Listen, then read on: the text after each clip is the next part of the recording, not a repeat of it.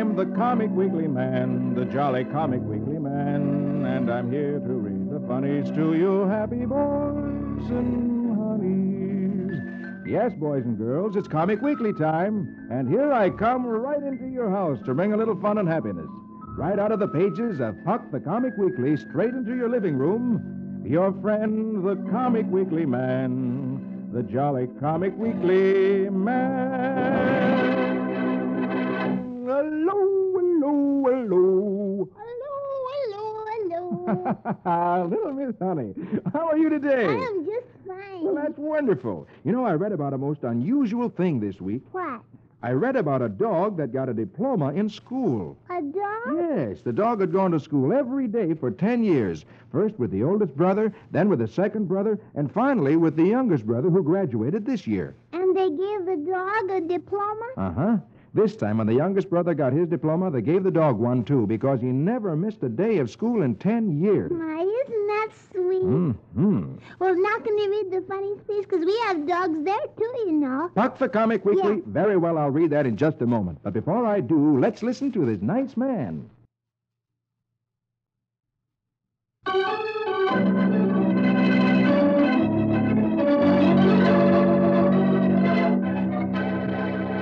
Now, here we go with Puck the Comic Weekly. And on the first page, Hopalong Cassidy. Oh, Hoppy, Hoppy. I just love Hoppy. Very well, then we shall read Hoppy. Magic words for the music, please. Very well, my lady.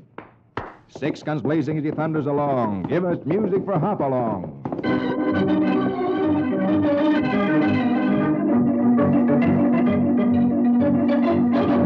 Hoppy is returning to the Bar 20 ranch after tracking down Calico, the leader of the counterfeiting gang. His pal Duke is surprised to see Hoppy carrying somebody on his horse, and he says, We're glad to have you back, Hoppy. Who's a stranger? Hoppy replies, A young Mexican lad, Duke. We found him spread eagled on the desert, delirious from the sun. A couple of the hands lift the boy off the horse, and Hoppy says, Better take him into the house and see that he's made comfortable. When he's better, we'll learn who did this to him. Little later, first picture, second row, three horsemen gallop up to the ranch. They rein up in front of Hoppy. One says, Uh, we're looking for a slippery young fellow escaped the law. Maybe you run across him. Hoppy says, Maybe. What's he done? The man replies, He's wanted for horse stealing. Now, if you gents will just turn him over to us. Hoppy holds up a knife, saying, One moment. We three gents had this knife with a warning note attached thrown at us back in the desert. Judging from the alkali dust on your clothes, you've just come that way.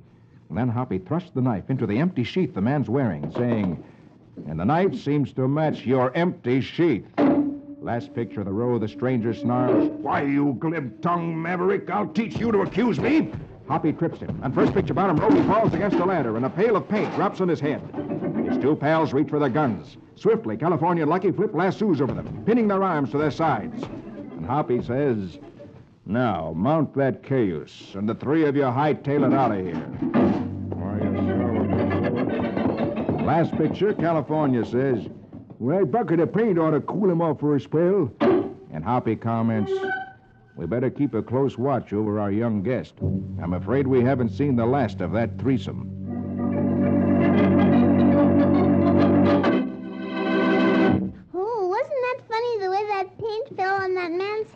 Yes, that ought to change the color of his thinking. Oh, yes, but I'm afraid his thoughts will all be black ones. That'd mean no good for Hoppy. Well, we'll find out more about that next week. Now, Oh, is Prince Valiant on the next page again? well, let's turn over to page three and see. Oh, there he is. Remember, Prince Valiant was looking for a way across the mountains, and he came to the uh, monastery. Yes, and the abbot there told Val he'd help him.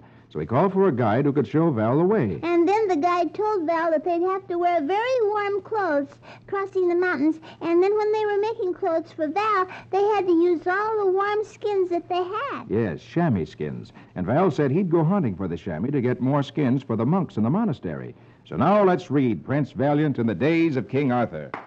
Hecate, Brecket, Graymalkin, and Quince. Music romantic for a fair, fair prince.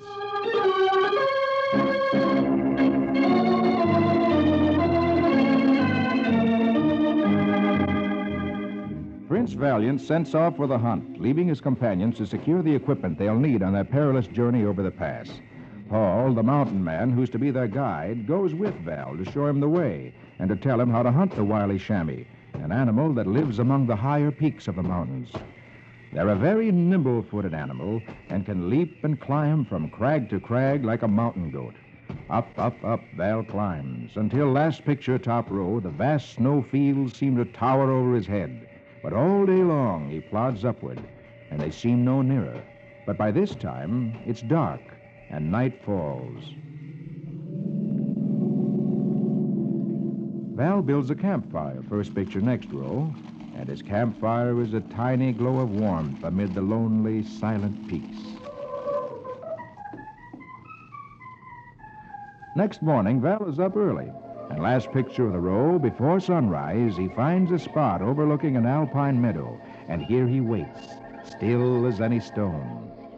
When the morning sun breaks, Val sees in the distance animals coming into sight. First picture, bottom row, down from the lofty cliffs come the chamois, leaping gracefully from ledge to ledge in the morning sunlight, trusting the sentinels that precede the herd. Slowly, the herd follows the leaders, who move forward closer and closer toward Val. Last picture, Val waits, poised. The slightest alarm, and they'll vanish like mist among the crags. Closer and closer they come, as Val waits with arrow to his bow.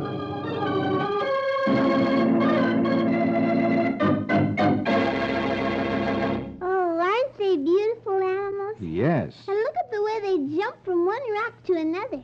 I'd slip and fall if I did that. So would I. Isn't wonderful what some animals can do? Yes, and next week we'll find out more about them. And now, if you're interested. Oh, if it's Brer Rabbit, I am. Well, that's just what I was coming to. So let's turn over the page and go past Jungle Jim and Buzz Sawyer, turn over the next page, and in the middle of page seven is Uncle Remus and his tales of Brer Rabbit. Say the magic words with me. Hippity hoppity, make it a habit to give us music for old Brer Rabbit.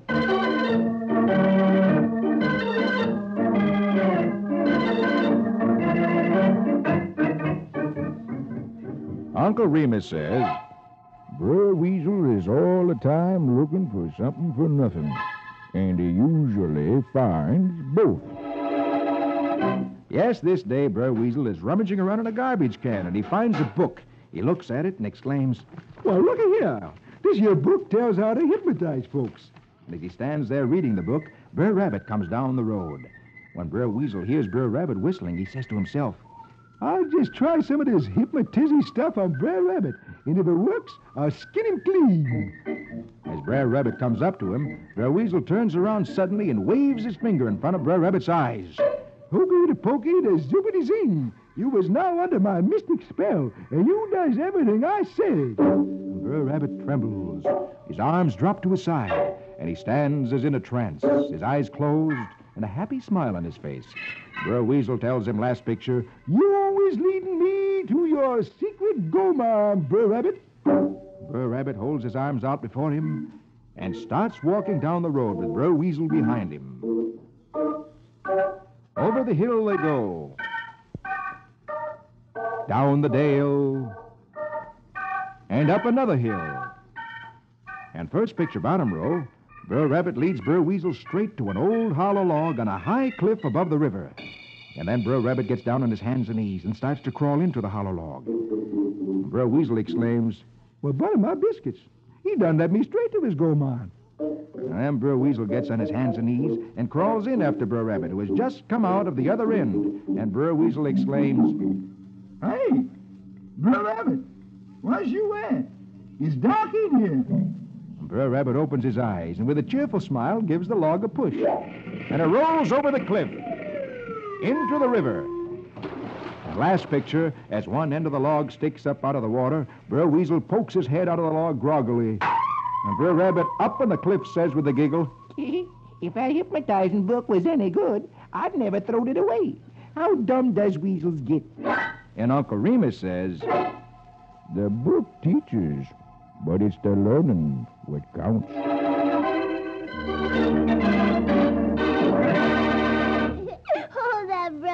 Wasn't it funny how he fooled Brer Weasel pretending to be hypnotized? uh, hypnotized. He was, too. Oh, I know he was. Well, then why did you say he was nose-tized? I did not say he was not tized. You did so. You corrected me and you said hypnotized. Oh, I mispronounced it in trying to correct your pronunciation. You see, it's hypnotized. Oh. Well, he's very clever. Yes, he is. And so are you. Oh, thank you. Mm-hmm. Uh, And now? Oh, yes, if it's Dagwood and Blondie. Well, it is indeed. And there they are on the first page of the second section of Puck the Comic Weekly. So if you're all ready, let's shuffle off with Dagwood and Blondie. Ramafoo, ramafum, zim, zam, zombie. Conjure me music for Dagwood and Blondie.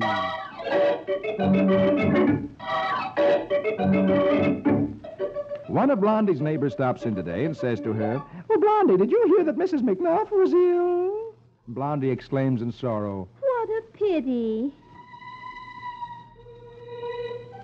So, a little later, after the neighbor lady is gone, Blondie comes into the living room with her coat on, carrying a casserole, and she says, Dagwood, I'm going to call on Mrs. McNuff and take her some soup. Blondie goes out the door, and Dagwood says, Oh, boy, that'll give me a chance to take a leisurely bath and not be disturbed. A little later, first picture next row, the front door opens, and a dozen women come in the house, chattering happily. And one of the women says, Oh, Edna, that was such a cute way to get Blondie out of the house. And Edna replies, Well, now we'll prepare things for the surprise party.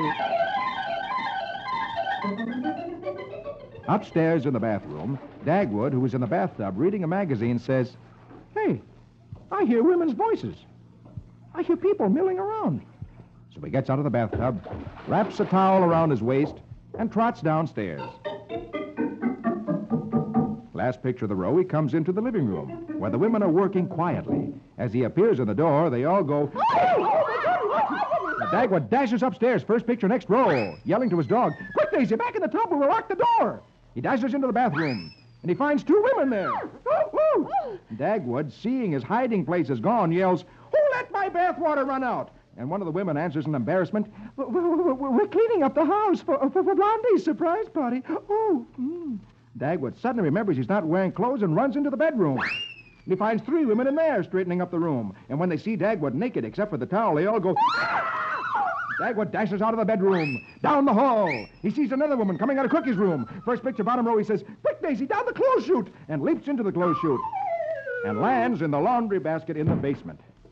At this moment, Blondie enters the house. And the women all yell, Surprise! And last picture, Dagwood lying in the laundry basket in the basement, still wearing the towel, pants with exhaustion. She'll never be as surprised as I was. Wasn't that funny? Yeah. No matter where Dagwood wearing just that old towel, he would bump into neighbor ladies. Yes. I don't know why they should be so frightened at seeing him, though, because after all, that's all you wear when you go to the beach is just a pair of shorts. Yes, I think people are just plain silly. I think so, too, but I love it when they make me laugh like Dagwood. So do I. That's why I like the funny papers. They're so funny. Yes. Oh, look, underneath Dagwood and Blondie, there's Roy Rogers, my favorite favorite. And I'll read that in just a moment. But first, here's that nice man with something interesting to say.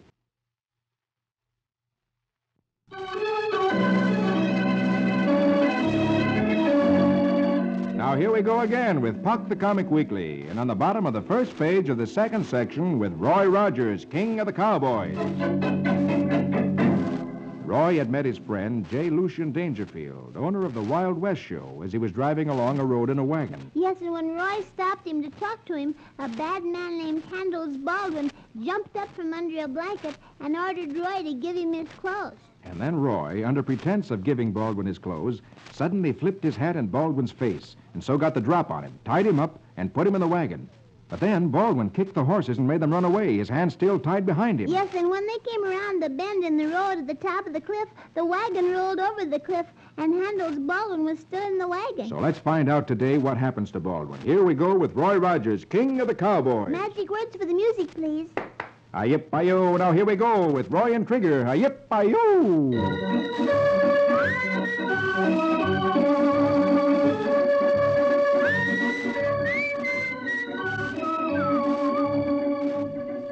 Roy looks at the spot where the wagon went over the cliff.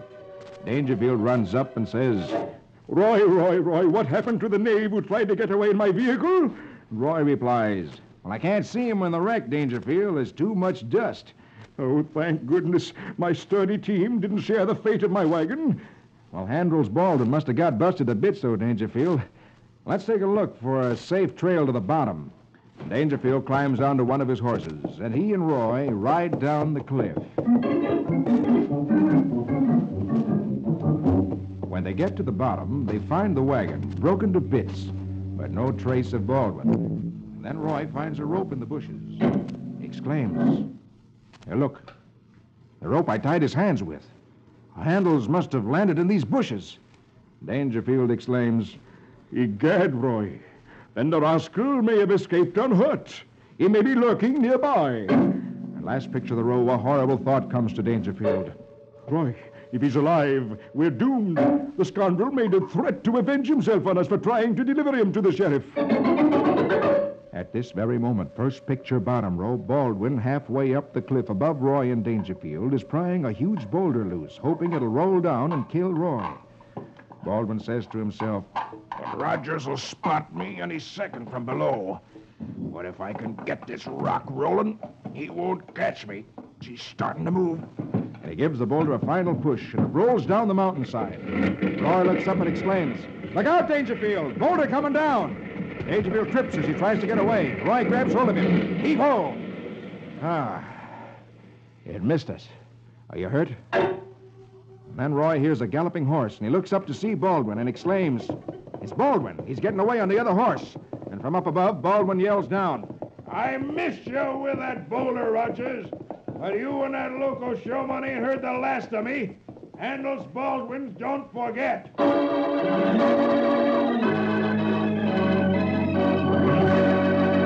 That's just exactly what we thought might happen last week. He did land in the bushes and the rope did break and he got away. That means that Roy has a bitter enemy, vowing to get even with him. Ooh, that means this adventure is getting more exciting and dangerous. It certainly is. Oh, but I'm anxious to find out what happens next week. So am I. Well, now let's go over the page. Oh, and there's Flash Gordon, and I want to know more about this right now. Flash disguised himself as the wizard and got into the wizard's cave. And after he and Prince Fino had succeeded in tricking the workers in the wizard's cave to open the door, they overpowered them.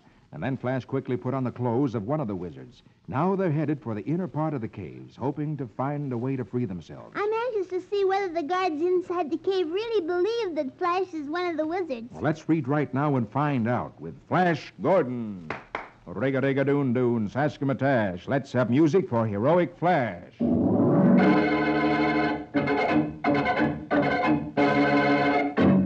Disguised as one of the wizards, Flash gains entry into their underground fortress. He bluffs, Make way, guards. I've captured Dale and Queen Sunee. The startled guards fall back obediently, and Flash goes on safely. But as the doors to another entrance open, Flash has the bad luck to run into the chief wizard, Curzo himself. Curzo snarls. You scheming impostor! You shall die for this!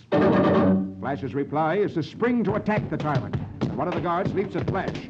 Curzo has no taste for hand-to-hand fighting, and first picture bottom row flees, shouting to the guards at the entrance. Bar the doors! Flood the caves with liquid fire! Fight with the guard has delayed Flash just long enough, and the door slides shut, trapping Flash and his friends. Suddenly, from cracks in the walls, burning oil spurts out in spreading streams. As the burning oil covers the floor, Flash shouts to his terrified friends, Climb up the walls! Don't give up! And up the walls of the cavern they climb. Last picture of the row, Prince Pino suddenly calls out, Hey, this way, Flash! There's a trap door up here! Maybe we can force it open!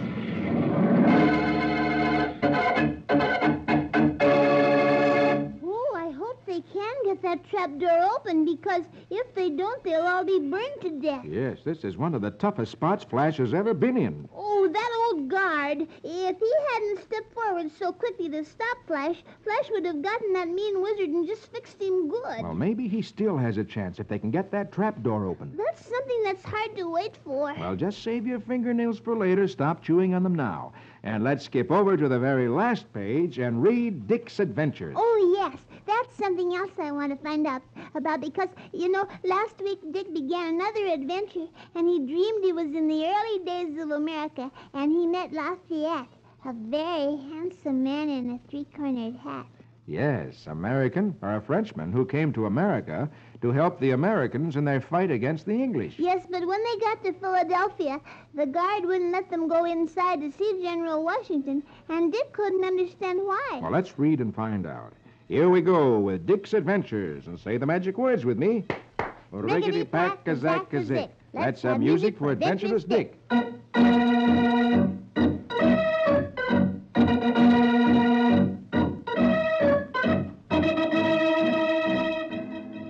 As the sentry at the door of Independence Hall in Philadelphia refuses to let Lafayette or his friend Baron de Kalb enter, Dick exclaims, Well, gosh, something's wacky. He can't understand that no one knows who they are. Last picture of the row, he says to Lafayette, Well, there must be some mistake. I know we need you. And then he walks determinedly into Independence Hall, where the Continental Congress is in war session. First picture, second row, he tells one of the orderlies about his friends. The orderly replies, General Washington needs men, plain soldiers, not titled officers. Dick exclaims, But, sir, it's Lafayette, Baron de Kalb. Plain fighters, jeepers. Lafayette's going to be one of the greatest soldiers in our country's history.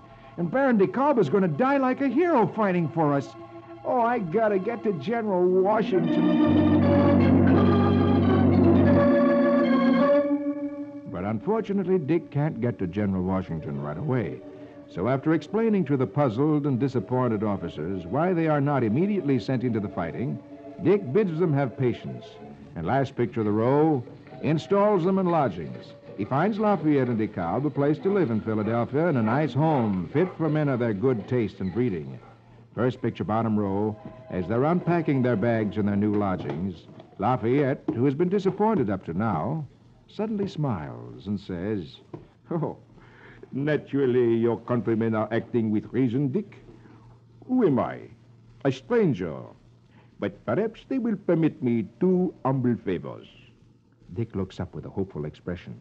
Lafayette goes on. One is to serve at my own expense, and the other is to commence serving not as an officer, but as a volunteer, as an ordinary soldier in the ranks. Dick is to go back to Washington's headquarters with these offers. So he leaves the house immediately.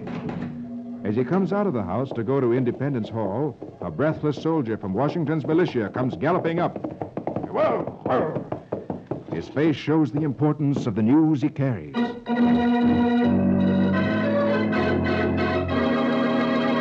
you mean that Lafayette is going to give money to the American soldiers and that he's going to start at the bottom and just be another soldier? That's exactly what he's going to do. Oh, isn't that wonderful?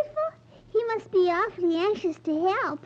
He was, because he believed in the cause of liberty, and he was willing to do anything to help men gain freedom and justice and fair play. It's too bad everybody can't be like him. Yes, I should say so. It is too bad. But I wonder what news that man has that's on the horse. Well, that's something we'll have to find out next week. But I can tell you something about Rusty Riley right now. Oh, and I want to read that too because last week Mr. Kilgore had come in just in the nick of time to take Squire Boggs and Captain Captain Clune away when Rusty had captured them. That's right. And then the Coast Guard men caught the other smugglers out on a boat at sea. So the whole ring has been caught. And all because Rusty Riley was so smart and brave. Mm-hmm. Now they want to talk to Tony, Squire Boggs' nephew. So let's read and find out what they learned from him now with Rusty Riley. Gallop and run till the road is dusty. Give us music for his horse and Rusty.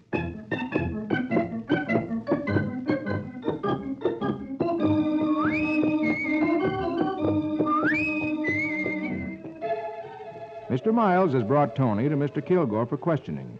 The detective says, Your uncle, Squire Boggs, and Captain Clune are under arrest for smuggling. You are apparently involved. What have you to say? Tony replies, He's Smuggling? Well, good night. I, I, I don't know anything about any smuggling. He told me they were just pirating some lobsters. You'll make things a lot easier for yourself by coming clean. Now, what was your part in this? Oh, sure, sure. I'll tell you all I know. Uh, well, they got me this job as teacher for the kids so I could tip 'em off when the coast was clear. Well, how about that black light gadget? You had something to do with that, didn't you? Oh, sure, I did. I, I studied electronics in college. You see, it was my idea to use it on their lobster pot markers so they could take 'em in at night. Tony goes on, last picture, top row.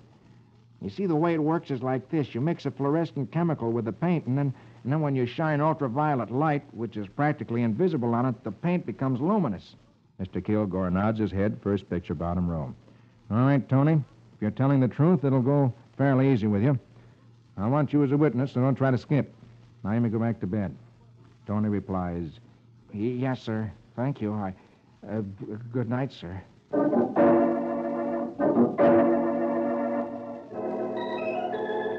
Next morning, Patty and Rusty are having breakfast together. Patty is unhappy she missed all the fun by going to bed early. She asked Rusty if it's really true that Captain Clune and Squire Boggs are smugglers. And Rusty replies, Sure they are. They put out certain lobster pot markers with that special paint on them, and then the watertight cylinders with the smuggled goods were attached to them. And, and, and then they would go out with their black light gadget, and the markers with the cylinders would shine so they could pick 'em out. Patty tells Rusty that Tex had said there were thousands of dollars worth of silks in the old hulks. Well, at this moment, Tex comes into the room and says, Good morning, Rusty. Patty, you want to take a little ride? I heard about a junk dealer on the post road who has some pretty fair saddles for sale cheap. You want to go? Last picture, bottom row, Rusty replies with enthusiasm. Oh, yes, indeed, Tex, we sure do.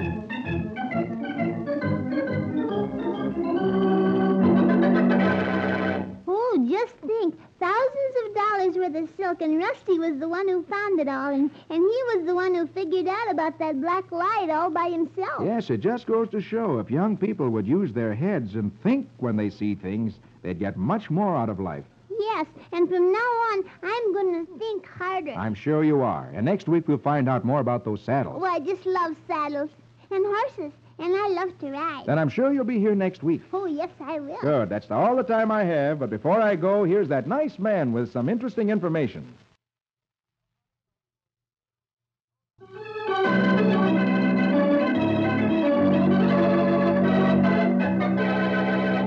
Honey, and all you boys and girls, I've got to go now. All right, Mr. Comic Weekly Man, but I'll be waiting for you next week. Okay, that's a date, and a date with all you boys and girls. Be sure to meet me with our little friend Miss Honey next week when I read Puck the Comic Weekly.